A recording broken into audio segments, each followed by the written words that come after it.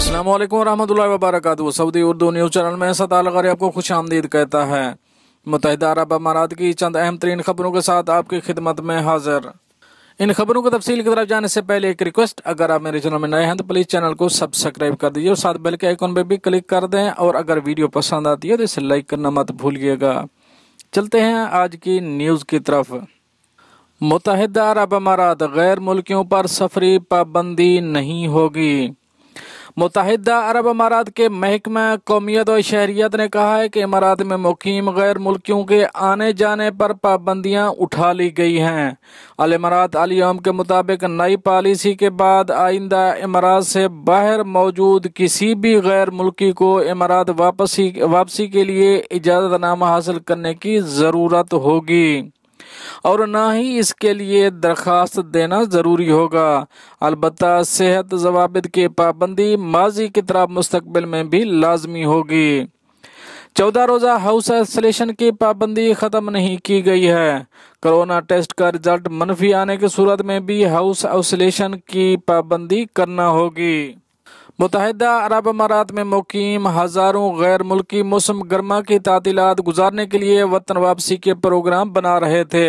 उनकी जानब से मुसलसल इस्तफसार किया जा रहा था कि आया अब वो बिला किसी रोक टोक इमारत से वतन जा सकते हैं या नहीं।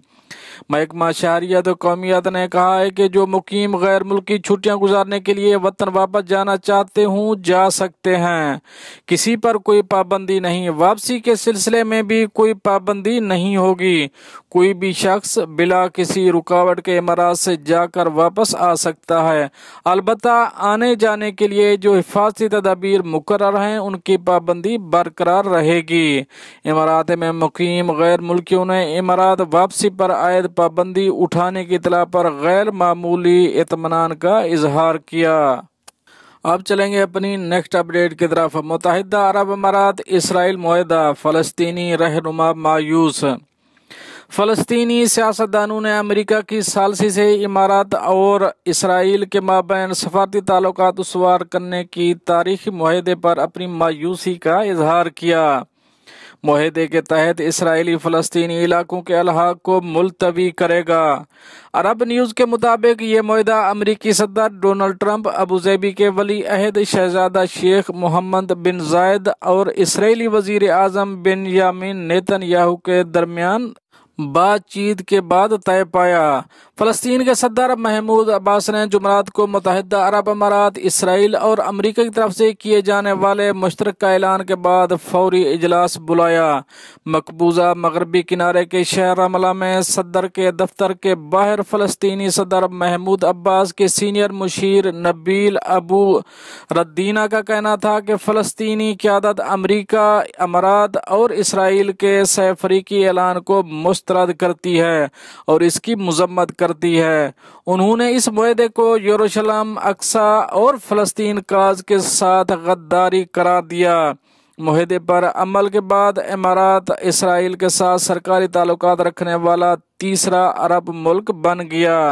फ़लस्तीन लिबरेशन ऑर्गेनाइजेशन और इसराइल ने उन्नीस सौ तिरानवे और उन्नीस में ओसलवो माहे पर दस्खत किए थे। उर्दन ने उन्नीस सौ चौरानवे में इसराइल के साथ अमन माहे पर दस्खत किए थे, जबकि मिस्र और इसराइल ने उन्नीस सौ अठहत्तर में कैंप डेविड माहे पर दस्खत किए थे। फलस्तीन में बड़े पैमाने पर यह खदशा पाया जाता है कि इसराइल और इमारात के दरमियान होने वाले माहे से अरब अमन इकदाम कमज़ोर पड़ जाएगा।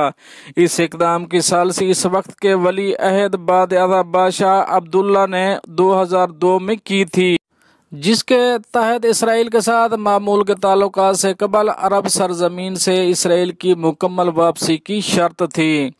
फ़लस्तनी वज़ीर अजम के सबक तर्जमान जमाल दजानी ने कहा है कि इस माहे से फ़लस्तियों को इमारात की जानब से धोखा दिए जाने का एहसास हुआ। उनका मानना है कि ये एक ऐसे वक्त पर किया गया जब फ़लस्तनी अपनी आज़ादी के लिए जद्दोजहद के अहम मरहले पर दाखिल हो चुके थे। अरब न्यूज़ से बातचीत करते हुए जमाल दजानी का कहना था कि इसराइल का अलहाक मनसूबा गैर कानूनी और नान स्टार्टर है। सदर ट्रंप का कहना है कि बातचीत शुरू से बर्फ़ पिघली है, लेकिन दरअसल एतमाद ख़त्म हुआ है। फ़लस्तीन की आज़ाद सियासी जमात अल मुबादरा के रहनमा मुस्तफ़ा बारगोती ने एक बयान में कहा कि अमारात ने फ़लस्तीनियों की पीठ में छुरा घोंपा है। उन्होंने मजीद कहा कि यह माहिदा मगरबी किनारे के बड़े हिस्सों के अलहाक के बाद इसराइल मनसूबे को मनसूख करने के बजाय सिर्फ़ मअतल करने के फैसले की बात करता है। अब चलेंगे अपनी नेक्स्ट अपडेट की तरफ़। दुबई के हकमरान शेख मोहम्मद बिन राशिद अल मखतूम की जानब से पाकिस्तानी सदर डॉक्टर आरिफ अलवी को योम आज़ादी पर मुबारकबाद पेश की गई। दुबई के हुक्मरान ने पैगाम में पाकिस्तान के लिए नेक ख्वाहिशात का इजहार भी किया। पाकिस्तान के सदर ने मुबारकबाद पर अपने दुबई के हुक्मरान शेख मोहम्मद बिन राशिद अल मखतूम का शुक्रिया अदा किया। और आखिर में बात करेंगे मौसम के बारे में। महकमा मौसमियात के कौमी मरकज ने आज धूप और मतला जुजवी तौर पर अबर आलूद होने की पेशगोई की है। अंदरूनी इलाकों में दर्जा हरारत सैतालीस डिग्री तक पहुँच जाएगा। मुल्क के मशरक में दोपहर के वक्त बारिश हो सकती है। आज शाम और इतवार की सुबह तक नमी में इजाफा होगा। हल्की हवाएँ चलने के इम्कान भी बताए जा रहे हैं। दोस्तों, ये तो थी कुछ अहम अपडेट जो आप दोस्तों शेयर करें। मिलते हैं नेक्स्ट अपडेट के साथ नेक्स्ट वीडियो में। तब तक के लिए अल्लाह हाफिज़।